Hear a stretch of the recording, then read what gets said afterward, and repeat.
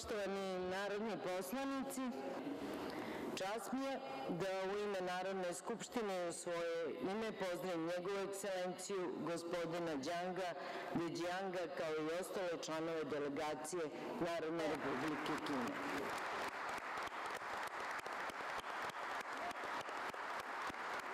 Pozdravljam i prisutne članove Vlade Republike Srbije, predsednicu Vlade Republike Srbije. 不断取得新的进展、新的成果。